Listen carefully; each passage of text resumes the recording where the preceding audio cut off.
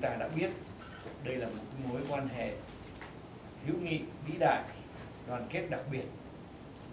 hợp tác toàn diện giữa hai nước chúng ta và cũng có thể khẳng định rằng đây là mối quan hệ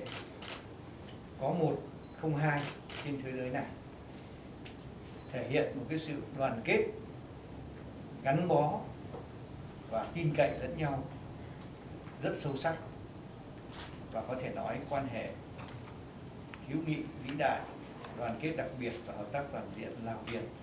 là mối quan, là một cái yếu tố sống còn đối với cách mạng của mỗi dân tộc chúng ta. Và là tài sản vô giá đã được xây dựng bằng công sức và xương máu của nhiều thế hệ cán bộ chiến sĩ của cả hai nước và được trực tiếp chủ tịch Hồ Chí Minh, vĩ đại, chủ tịch Cây Sòn Phung vi hải và chủ tịch Suphanugong kính yêu, trực tiếp đặt nền móng và được nhiều thế hệ lãnh đạo, cách mạng của hai nước Lào và Việt Nam đã dày công vun đắp và các thế hệ nhân dân, cán bộ, đảng viên của hai đảng, của hai nước tiếp tục phấn đấu, vun đắp, củng cố, tăng cường trong nhiều thập kỷ vừa qua. Và có thể nói đến ngày hôm nay, đây là cái mối quan hệ mà tôi cũng với một tư cách là một người làm cán bộ ngoại giao lâu năm của Việt Nam và cũng được quan sát nhiều mối quan hệ, được trực tiếp góp phần vào việc xây dựng nhiều mối quan hệ quan trọng của Việt Nam trên thế giới. Song có thể thấy rằng không có mối quan hệ nào trên thế giới này có thể so sánh được với tình hữu nghị trung thủy son sắt sống chết có nhau như giữa hai dân tộc Lào và Việt Nam trong thời gian vừa qua. À, tôi xin ờ, kể với các ờ, vị một ví dụ để các vị thấy được cái chiều sâu rất sâu sắc của mối quan hệ Lào Việt Nam. Đó là giữa hai dân tộc chúng ta có lẽ cũng ít người biết được là có bao nhiêu cái bài hát để nói về cái tình hữu nghị Việt Lào. Thì tôi, khi làm việc với các đồng chí lãnh đạo của Lào, thì tôi được một số đồng chí cho biết là hiện nay giữa hai nước chúng ta có trên 200 bài hát. Trên 200 bài hát để nói về tình hữu nghị Việt Lào và những cái tình cảm của những người nhân dân của những người bộ đội hoặc là giữa bộ đội của Việt Nam với những cô gái Lào vân vân. Những cái tình cảm đó đã được thể hiện qua rất nhiều à, bài hát. Và tôi cũng có thể khẳng định là không có một cái mối quan hệ thứ hai nào trên thế giới giữa bất cứ nước nào với nhau mà có một cái số lượng bài hát à, nhiều và sâu sắc như vậy. Và chúng ta khi nghe những cái bài hát về tình cảm hữu nghị Việt Lào đều cảm thấy rất là sâu sắc, rất là rung động. Và phải nói, các tác giả, những người sáng tác của cả hai nước khi viết nên những cái bài ca này đều xuất phát từ cái trái tim, từ tình cảm rất sâu đậm của tình hữu nghị Việt Lào. Để lại cho chúng ta một cái kho tàng, những cái bài hát rất là quý giá và có lẽ mãi mãi sau này chúng ta cũng không bao giờ ngừng hát những cái bài hát như thế này. Và cũng xin chia sẻ với quý vị là ngoài bài hát ra thì có hàng nghìn những cái bài thơ à, những câu chuyện về cái tình hữu nghị vĩ đại giữa Việt Nam và Lào, Lào và Việt Nam. Đó riêng cái lĩnh vực đó thôi à, đã thể hiện cái chiều sâu rất sâu của mối quan hệ. Còn những cái lĩnh vực khác quan hệ giữa hai đảng hai nhà nước à, quan hệ trên các lĩnh vực cụ thể thì quý vị cũng đã biết ừ, qua sách báo TV hay là các cái cuộc trả lời phỏng vấn của lãnh đạo Việt Nam, lãnh đạo Lào hay là của cá nhân tôi trong những cái dịp trước đây. Tuy nhiên tôi vẫn phải xin chia sẻ với quý vị là quan hệ giữa hai đảng nhân dân cách mạng Lào và Đảng Cộng sản Việt Nam cũng là một cái yếu tố quyết định ngày càng sâu sắc, gắn bó và cái sự tin cậy lẫn nhau giữa hai đảng ngày càng phát triển bền chặt khó có thể có thế lực nào à, lý do nào có thể ngăn cản được hoặc là chia rẽ được cái sự đoàn kết gắn bó tin cậy giữa hai đảng và hai nhà nước nhân dân hai nước chúng ta. Và như à, nhiều đồng chí lãnh đạo của hai nước đã khẳng định cái mối tình sâu đậm à, của hai nước chúng ta. Và đây là một cái yếu tố vô cùng quan trọng với hai nước chúng ta trong thời gian tới và chúng ta tự hào nhìn lại quá khứ hiện tại cũng như tương lai và tin tưởng về một cái mối quan hệ đặc biệt vĩ đại sâu đậm và trường tồn giữa hai nước chúng ta để tiếp tục giữ về mối quan hệ Việt Lào thì ông đại sứ có ý kiến như nào trong tương lai ạ? tương lai à, như tôi vừa nói cái quan hệ giữa hai nước chúng ta được xây dựng trên một cái nền tảng nó vững chắc như vậy. Có một cái chiều sâu à, lịch sử như vậy và nhân dân hai nước chúng ta có một sự gắn bó như vậy thì tôi nghĩ tôi có đầy đủ lý do để lạc quan về tương lai ngày càng tốt đẹp của quan hệ giữa hai dân tộc chúng ta à, dưới sự lãnh đạo của đảng nhân dân cách mạng lào và đảng cộng sản việt nam được sự ủng hộ toàn tâm toàn ý à, của nhân dân hai nước, của các cán bộ, đảng viên à, của hai nước. Và đặc biệt là được thế hệ trẻ hai nước à, hiểu rõ và tiếp tục vun đắp. Thì tôi tin rằng cái tương lai của chúng ta, các quan hệ hữu nghị vĩ đại đoàn kết đặc biệt và hợp tác toàn diện sẽ ngày càng phát triển sâu đậm và vững chắc À, trên cương vị ông là đại sứ Việt Nam tại Lào thì ông có thể thúc đẩy thế hệ sau như thế nào để mà thực hiện được hiệu quả về các thảo luận của lãnh đạo các cấp cao của hai nước ạ? ở đây tôi xin à, cảm ơn câu hỏi của à, bạn phóng viên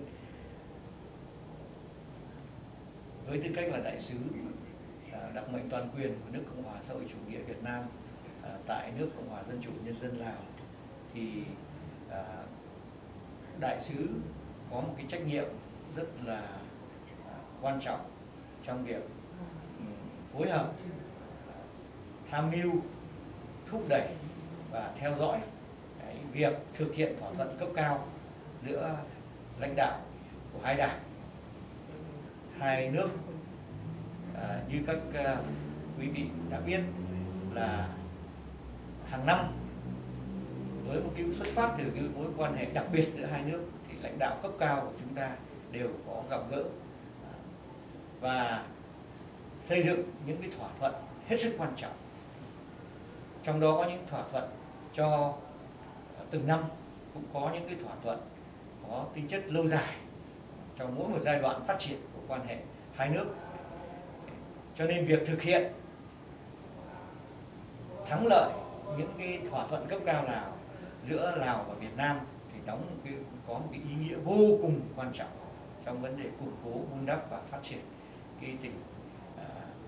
hữu nghị và đoàn kết hợp tác toàn diện giữa Việt Nam và Lào Lào Việt Nam à, đại sứ cần phải phối hợp chặt chẽ với các cái uh, cơ quan chủ chốt của hai nước các bộ các ngành và các địa phương trong một số những cái việc cụ thể như thế này. Thứ nhất là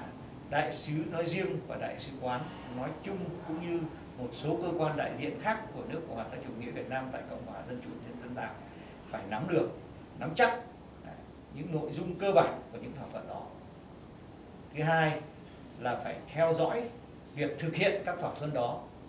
của từng bên, các cơ quan, các bộ ngành địa phương liên quan của từng nước. Và kịp thời báo cáo, tham mưu đề xuất à, với lãnh đạo của hai nước, mà trực tiếp nhất là đối với lãnh đạo Việt Nam, các bộ ngành địa phương của Việt Nam về việc thực hiện các thỏa thuận này. Có gì tốt, có gì chưa tốt, có gì cần phải tiếp tục điều chỉnh có tình tiếp tục phải tăng cường để mà làm sao thực hiện thành công có kết quả những cái thỏa thuận cấp cao này. Bởi vì đây là những thỏa thuận hết sức căn bản trong vấn đề củng cố và tăng cường quan hệ giữa hai nước và hợp tác giữa hai nước. Cái nhiệm vụ thứ ba là phải à, làm việc trực tiếp với các cái bộ ngành địa phương của hai bên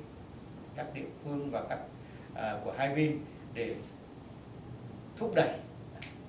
và tiếp tục làm cầu nối giữa các cơ quan, bộ ngành, địa phương của hai bên để thực hiện cho tốt những cái thỏa thuận này. Thứ tư là phải tiếp tục phối hợp với các đồng chí Lào tại thủ đô Viên Chăn đặc biệt là các cái bộ ngành chủ chốt, lắng nghe ý kiến của các đồng chí về quá trình thực hiện cái này, để chúng tôi báo cáo, phản ánh với lãnh đạo Việt Nam, lãnh đạo các bộ ngành địa phương để kịp thời à, có những cái điều chỉnh cần thiết hoặc là kịp thời có những biện pháp cần phải tăng cường à, để, hoặc để các đồng chí lãnh đạo có thể trực tiếp trao đổi với nhau khi cần thiết à, khi sang thăm lẫn nhau hoặc khi gặp nhau ở các cái hội nghị quốc tế hoặc hội nghị khu vực để mà làm sao đẩy nhanh việc triển khai, nhất là những vấn đề gặp nhiều khó khăn. Những vấn đề có những khó khăn, khách quan và chủ quan của từng bên thì phải tham mưu và đề xuất để các đồng chí lãnh đạo nắm được và chủ động trao đổi với nhau để giải tỏa, để thúc đẩy cái sự hợp tác giữa hai bên. Cái đây là một cái hết sức quan trọng. Còn về cái vấn đề đồng chí cũng nêu là về thế hệ trẻ của hai nước, thì cá nhân tôi cho rằng tôi rất thấm thía câu nói của à, cố chủ tịch cây sòn phun vi hải coi thế hệ trẻ của lào là cánh chim đại bàng của thời đại. Cánh chim đợi bàng của thời đại. À, sải cánh bay cao và bay xa đưa đất nước phát triển. À, thì thế hệ trẻ Việt Nam cũng vậy. Ha thế hệ trẻ của Việt Nam cũng như của Lào cần phải hiểu rất sâu sắc về cái tính chất vĩ đại về cái tình đoàn kết đặc biệt, có một không hai giữa hai dân tộc. Bởi vì đây là tương lai của đất nước và tương lai của mối quan hệ. Cho nên nếu thế hệ trẻ không hiểu sâu sắc, thực chất và rõ ràng những cái ý nghĩa sống còn của mối quan hệ này thì rất khó có thể tiếp thu, kế tục và tiếp tục vun đắp phát triển cái mối quan hệ này lên trong thời gian tương lai có thể khẳng định là lãnh đạo của hai nước hết sức quan tâm đến vấn đề này. Và trong thời gian vừa qua đã dành nhiều công sức thời gian để làm tốt việc tuyên truyền về ý nghĩa quan trọng của mối quan hệ đặc biệt Lào Việt, Việt Lào cho thế hệ trẻ của cả hai nước. Và tôi cũng rất mừng là thời gian qua tôi cũng đã chứng kiến thế hệ trẻ của lãnh đạo hai nước là hiểu đúng, hiểu rõ và đóng góp rất quan trọng vào cái mối quan hệ này. Và tôi tin rằng trong tương lai, thế hệ trẻ của chúng ta, thế hệ này qua thế hệ khác sẽ tiếp thu truyền thống quý báu này và tiếp tục xây dựng nó ngày càng phát triển để được như à, mong muốn của các đồng chí lãnh đạo của cả hai nước ví dụ như bác hồ